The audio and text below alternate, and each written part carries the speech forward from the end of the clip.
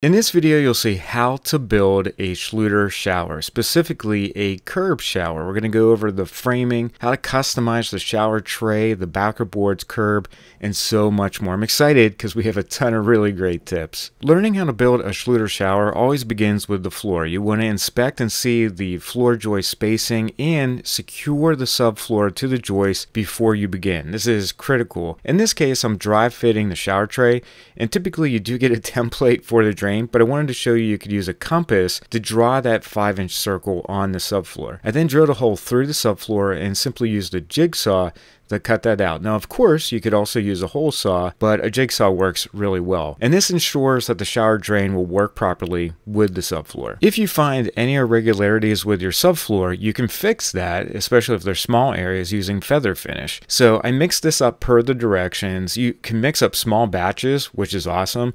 And that bag that I showed you is not very much. It's probably about $20, $25. And so if you have a small area that needs to be leveled, you can use feather finish to accomplish that. For example, between subfloor panels. Now, if you have a larger area that needs to be self-leveled, we can do that many different ways, but obviously a self-leveling underlayment is the best way to go. So I'm going to be using great stuff anywhere where I have a gap between my bottom plate and my subfloor, and also any type of penetration in the floor. So I simply filled those voids with the great stuff. I also did this around where the drain opening is located in the floor, and this is going to help prevent the self-leveling underlayment from going down in there. Now it's critical to prime and I'm using P51 from Ardex because that's the primer I need for the self leveler I'm going to be using. And I'm using a stiff brush for this. Really important to apply the primer per the directions and let that cure. Then you can move on to the self-leveling. But before you even do that, it's good to have a sill seal up against the wall. This is going to give you an eighth inch expansion joint. Now I do have a really unlevel floor here, so one of the things that I did was add screws in the floor to bring my level up to the level point. These are going to be indicators for where I need to pour this Ardex K22. It's K K22F that I'm using and I first add my water then I add the self leveler to that. It's good to have a dedicated mixer for this but the K22F as long as you follow the directions you're going to get a really nice fluid consistency and you'll be able to pour that immediately after you mix it up. I do recommend having multiple buckets for this so you can pour bucket after bucket and the other thing with a self leveler is you do need to agitate it. It just doesn't self level itself. So you can either use a spiked roller or you can use a notch trowel and you'll get a really nice level floor in the end. After I leveled the floor, the next step was to waterproof the walls with Kerdi board. And if you're using a shower niche like I am here, I recommend using a story pole to help you position the niche where you want it in relation to your tile layout. I'm simply marking the location of the niche on the studs and I'm going to cut those studs using a variety of different tools. I think this is going to help you out. So I use my square and a circular saw to make the initial cut. You can then try to complete that cut with a reciprocating saw, but often I find using an oscillating multi-tool is best after that. I then added the bottom plate and screwed that in place. It's okay for you to make sure that this is nice and level, although it's not absolutely critical, but it does definitely help out to have a level bottom plate and top plate. From there you can add your studs on the left and right.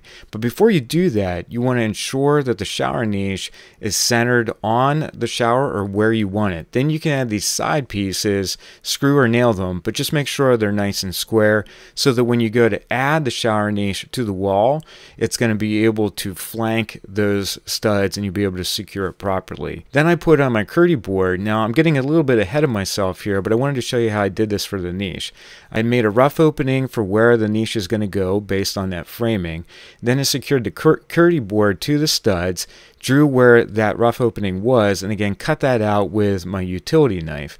The next step is to dry fit that niche, make sure that it again is where you want it to be. Then you can mark on the Kerdi board with a marker where you can cut it out using an oscillating multi-tool. This will help you fit that shower niche like a glove inside the wall. Then you can secure it to the studs using screws and washers every 12 inches. Then you can waterproof it using Schluter All Set and Kerdi Band. You can add the Kerdi Band vertically or horizontally first, it doesn't matter, just as long as you have two inches of overlap with the banding. That's important. By the way, if you're doing a bathroom remodel and you need help with that, join Home Repair Tutor's Platinum membership and make your project easier over at homerepairtutor.com. Frequently, studs are not even in plumb. So if that's the case in your bathroom, there's an easy solution to that. You want to check all the studs with your level. They also have to be 16 inches on center. Mark the stud to indicate where it's not plumb, like I did with these pencil marks. Then you can mix up Schluter All Set. So All Set is a thin set mortar.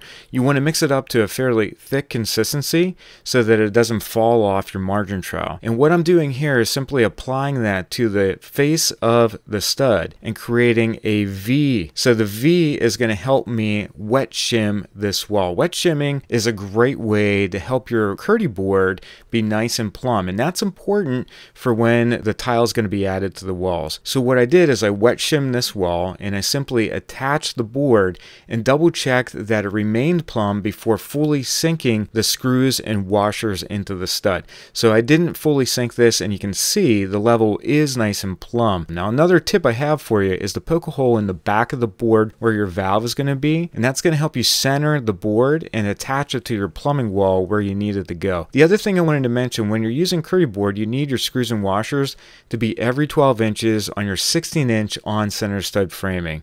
So make sure you do that and you'll be good to go with the Kerdi board and it won't be going anywhere. This is a super solid waterproofing backer board and I love using it. The next step was to add the drain. So I added my foam gasket and I chamfered the top of the pipe to get a tight fit with the Kerdi drain. and then measure between the bottom of the flange and the top of that gasket. Then I used this awesome internal pipe cutter to cut that pipe to size. I love this pipe cutter. Then I chamfered the pipe that was just cut. And the reason I do that is to get a tight fit. Now the waterproofing for the Kerdi drain is very straightforward. You want to apply thin set using the Kerdi trowel embed your Kerdi donut, and smooth that out using a 6 inch drywall knife.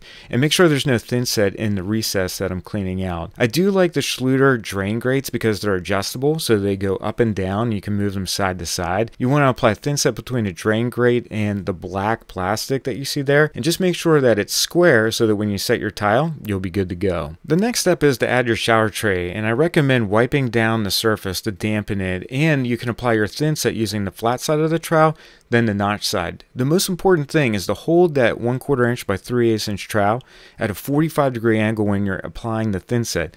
This maximizes the thin set so that when you set the shower tray and you walk on it, you're going to fully bond the tray to the floor. So make sure you do that. The other thing I did was customize this shower curb. So I actually cut it down, cut it in half, and then bonded it back together using Fix. The reason why I did this was to minimize the width of the curb. So if you want a smaller curb, you can totally do this. You just let that Fix set up, then you can bond the curb to the shower tray, the walls, and the floor using thin set mortar. I even apply a little bit of thin set to the side and the bottom of the curb so that when I set it in place, I can make sure that it's level and that it's going to be nice and solid. Then you'll have to waterproof this, but before I did that, that, I mixed up some dry pack mortar to extend my shower tray. So the most important thing is to tamp this down and also make sure that it's sloped toward the shower drain so the water will drain toward that. I then waterproof the corners next. That's just my preference. So again, I apply thin set using the Kerdi trowel, embed my inside corners. These are Schluter Kerdi Kereck corners. The most important thing with these is to make sure you smooth out any of the thin set with a damp sponge. That way you're not going to get a tremendous amount of buildup. I also like using a 4 inch drywall knife for this before I trowel more thin set on.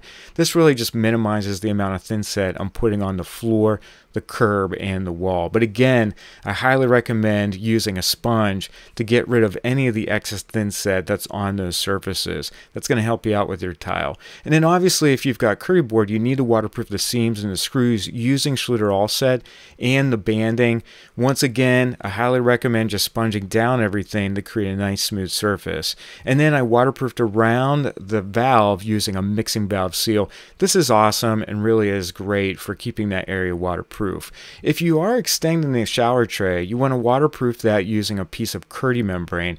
I cut that to size and made sure it overlapped the shower tray and the wall by a minimum of two inches and I bonded it to the wall in the tray using Schluter All Set. I just made sure that again it was nice and smooth so that it didn't interfere with my tile work. I did the exact same thing for the shower curb. I just used a piece of Kerdi membrane because remember I have cuts in that curb and that's important to cover those with some type of membrane whether it's Kerdi or Kerdi band. So you have to make sure that you do that if you customize anything.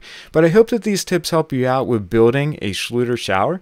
If you have any questions, let me know in the comments. I'd be more than happy to help you out. And I'll see you in the next video.